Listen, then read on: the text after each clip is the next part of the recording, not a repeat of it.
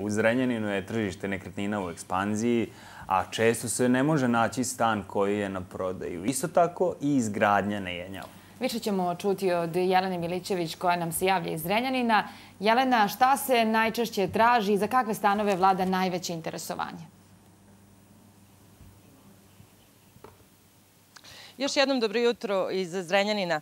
Na početku moramo reći podatak da je u toku 2020. godine u Srbiji za kupovinu nekretnina potrošeno više od 4,2 milijarde dinara. E, slična situacija je i u Zrenjaninu. Nije toliki iznos, ali prodaja stanova jeste u ekspanziji. Iz Agencije za nekretnine Gordana Božić je naš sagovornik. Pa upravo je to pitanje. E, kakva je tačna situacija u Zrenjaninu kada je promet nekretnina u pitanju? Pa, znate kako, uvek se smatralo da su nekretnine najzanimljiviji vid investiranja. Tako i dalje i u Zrenjaninu. Zrenjaninci kupuju nekretnine. Ono što je zanimljivo za Zrenjanje, Zrenjanin ima jako malu ponudu nekretnina. Tako samim tim imamo veću tražnju i samim tim nam cene idu gore. E, koliko su cene kvadrata u Zrenjaninu trenutno?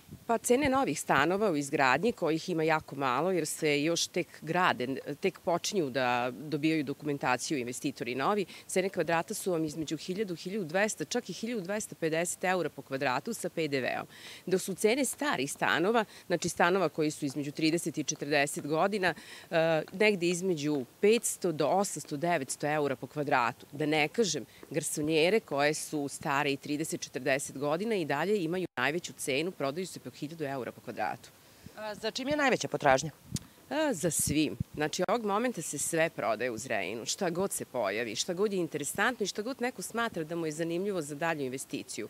Znači, nemamo ono da kupuje samo da bi živeo, nego kupuje baš da bi investirao. Svest ljudi se totalno promenila. Prodaje se sve. Garaže, vikendice, stanovi, kuće, kuće na selu, znači zemlja, šta god ko, ko nađe sebi za zgodno. A sad, e, kada ste rekli investiranje, šta to konkretno znači? Pa, i, znači ovako, razmišljaju i sad, pošto je kamatna stopa izuzetno povoljna, znači razmišlja ovako. I sad da se desi da, ne, da na ovog momenta ostane bez posla, kupio je stan stambenim kreditom, on će ga opet prodati, otplatiti i rešiti dalje, nastaviti dalje svoj put. Znači, investicija u ovom momentu i dalje jako dobra, jer nekretnine skaču i samim tim ono što je bilo nekada 500 eura, sad je 700 ili 600 ili ono što je bilo 1000, sad je 1200.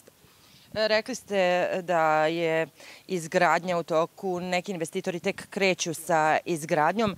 E, koliko česta je prodaja, prodaja stanova baš u izgradnji? Ma, znači, ono sve što se pojavi, sve što ima dokumentaciju, sve se proda. Znači, iz momenta. Verujte da ono, pogotovo ti stanovi koji su garsonjere, znači kvadratura između 25 i 30 kvadrata, 40 kvadrata, 50, znači, verovatno, e, ono što ostane, možda su to neke baš velike kvadrature koje se malo duže prodaju, ali verujte da i to se dugo ne prodaje. Kažu da je e, koronavirus prošle godine izazvao veliku krizu. Da li se to oseti na prometu nekretnina?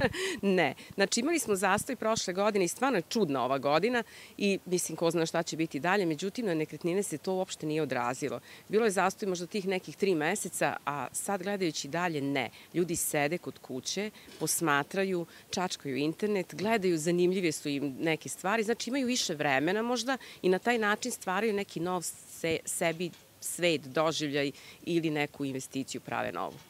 Hvala vam mnogo na ovom razgovoru, a svakako i na kreditnu sposobnost naših sugrađana uticalo e, zaposlenje, povećan broj zaposlenih u ovom gradu i povećana naravno i kreditna sposobnost. Za ovo jutro toliko i za Zrenjanina. Studio. Dosta informacija, opširnih e, i konkretnih iz Zrenjanina. Hvala puno Jelene, tebi i svim tvojim sagovornicima.